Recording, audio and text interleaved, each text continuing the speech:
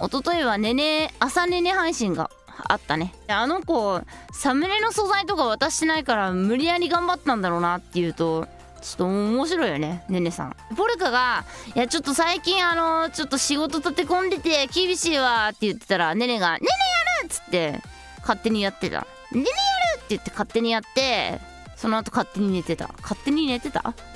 その日のコラボがなくなった朝に元気を使い果たした桃鈴ねねはその日のコラボがなくなった。まあいいんだよ。両方ともポルカとの間で完結してたことだから。なんかね眠れないとか言ってたね。大丈夫かな？子守歌って歌ってあげに行こうかな。ちょっと心配じゃんね。眠れたんかね？最近。しばらく起きてた。マジか。二鉄？えそんなん死んじゃう？君が眠れぬ夜は僕がそばにいてやる。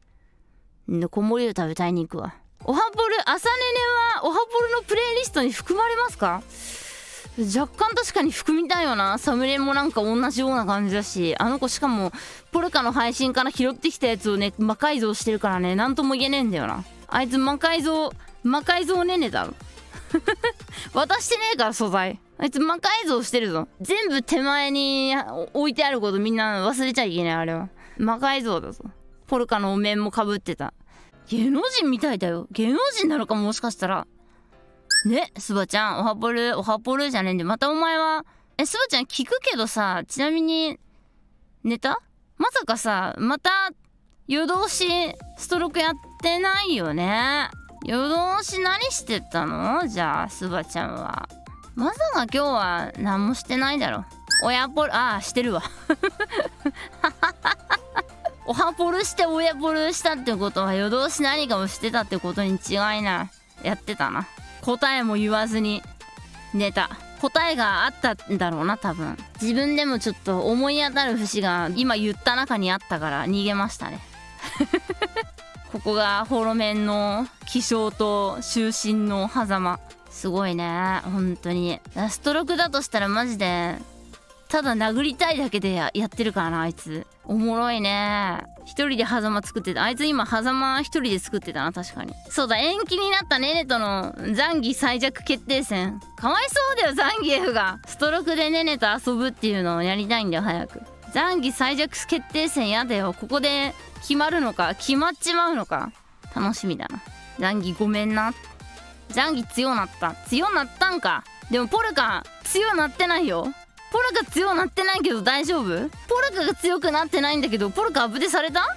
もしかして。ポルカアップデされてないよ。全然触ってないし。終わりだよこれ。広めよう。残儀最弱の輪。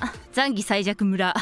あんなにムキムキなのに弱々の残儀が集まる村。頑張るわ。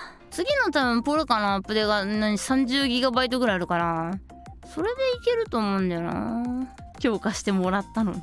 えていうかアクタンがすごいんでしょ？なんかアクタンがベレボーにセンスいいみたいな切り抜き見たんだけどずっとやってたみたいな感じではないの？どうなの？